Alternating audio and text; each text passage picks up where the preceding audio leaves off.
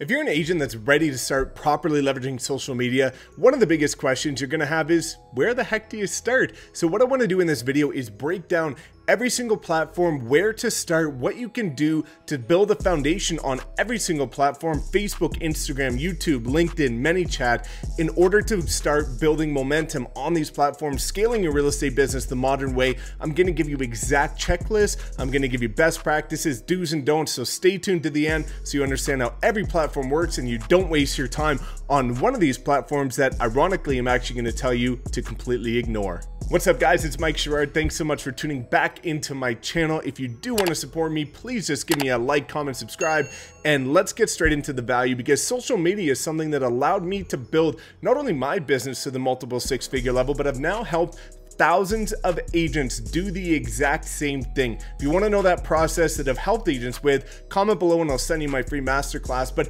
let's break down some of the platforms that some people might not even be thinking about, including number one, Google My Business. Google My Business is something so overlooked by so many agents that it blows my mind because let's look at consumer behavior for a second.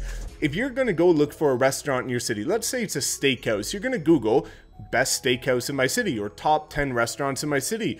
And how are you going to identify which restaurant you're going to go to? You're going to look at the one with the most popular reviews.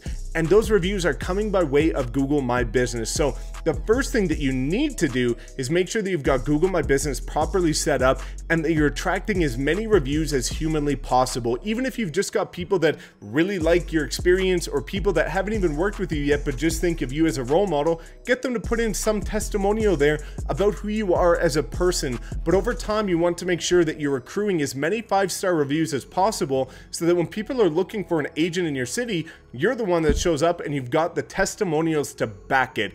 Now let's talk about the primary social media platforms. The first one, Facebook. What I'm gonna do right now is I'm gonna overlay the best practices of the do's and don'ts of getting your Facebook page started that you can take a peek at, rewind this if you wanna take another look at it. But there's certain things that you should be posting in order to gain traction on your Facebook page. You need to be mindful of the fact that in 2020 and going forward, Facebook page organic reach just isn't really there, but you do have to have a presence on it because people are going to find you on there and people are going to search for you on there. So make sure that you've got an active presence posting some of the things like I'm going to show you right here so that you can maintain a presence on these platforms for when people find you. Now, in terms of advertising on Facebook, the biggest thing you want to do is avoid running a free home evaluation because that provides value to literally nobody. You want to instead be running a $10 a day minimum custom lifts of homes ad. This is great for getting started because not only has it proven across every state and every province to be the highest converting lead ad, but also also, you don't need any business to get started. So even if you're a brand new agent, it's going to be a great way for you to start pumping out ads, generating upwards of 100 leads per week for under a dollar a lead or up to $2 a lead. And this is going to be a great way to build your foundation. The next step of that is going to be introducing retargeting to make sure that people always see you every single week. A lot of agents make the detrimental mistake of investing into Facebook ads, but the problem is is they run it to a cold audience over and over and over again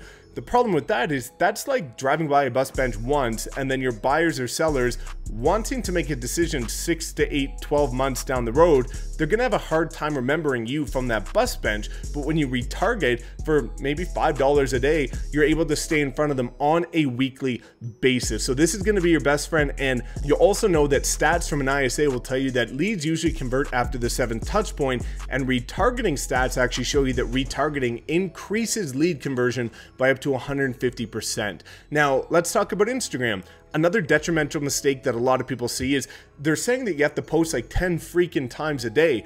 I've even heard somebody that said, Mike, I talked to my business coach and they told me I need to post literally 10 times a day on Instagram. And then I looked up their business coach and they haven't posted more than once a week over the last year. So you've got people that are telling you to do things that they don't even do it themselves. Don't overwhelm yourself. What I recommend is that you post two to three times per week, quality over quantity in 2020 and 2021. Back in 2017 and earlier, it was a volume game. You could post daily and skyrocket your results, but the algorithms change, the platforms change. It's more important now to provide value and less posts but more value than just going for a volume game. Now, I'll show you a couple things that you can do in terms of do's and don'ts on Instagram, and then what I'm gonna overlay on the screen is some of the top posts that are really gonna help you not only increase your following, but actually start to attract clients at scale on Instagram. Now, YouTube is another interesting one because a lot of agents make the false assumption that you can't start a channel like we're watching right now until you've hit a certain maybe milestone or metric in your real estate business. That couldn't be further from the case. I'll overlay a testimonial here from an agent that's in my group with Connor and myself, where he's generating calls on a daily basis, inbound calls from people calling him as a new agent in a new city where he didn't know anybody and he's now getting calls from his very first YouTube videos. So what I recommend as somebody that's just getting started on social media is post at least one video every two weeks. Now, if you can manage to batch your content and post on a weekly basis, that is ideal but you're gonna wonder what do I post about? All you need to post about is the knowledge you already have. If you've taken your real estate license, you know more than the general public. If you live in a city, which you obviously do, you know things about your city that other people are looking for. So, what is the cost of living? Why should people move there? What should they know before moving there? What are the top events? What are the types of properties? What is the lifestyle like in your city? And that's going to help attract people from out of state, out of province, as well as show your value and knowledge within the internal community of your city already, and that's really gonna help you start to build momentum and get calls as a brand new agent. Now, LinkedIn is another one, but it's a bit of a different one in the sense that I don't advise agents to start running paid ads on LinkedIn because it's just too expensive to get started with. So, what I recommend, make it as easy as possible on yourself. Take the exact same post you were going to post on Facebook, cross promote it on LinkedIn, and there you have it. You don't have to go down the rabbit hole of learning how to dial in LinkedIn to 100%, but do the bare minimum, optimize your bio, have a presence on there, start to network and connect with other people, post some of the posts that you're posting on Facebook, and the like, but just make sure that you do have a presence because the organic reach on LinkedIn is about 10 times that of Facebook page. So while your Facebook page is more so for having a presence with your posts and then it's a pay to play platform with your advertising, LinkedIn actually does have incredible organic reach. Now, the last thing I want to talk about is ManyChat. Now, you've heard me talk about ManyChat, and I've got the top rated videos on ManyChat. If you want to check them out, click the link above, and I'll show you full tutorials on it. But as a new agent that's just starting to leverage social media, I'm going to tell you something that will shock you. Tune it out ignore it altogether. ManyChat is one of the best ways to automate your lead generation, but the problem is, is when agents are just starting to get a hold of social media and they integrate ManyChat, it adds a layer of complexity that most of them just simply can't handle at that point in time.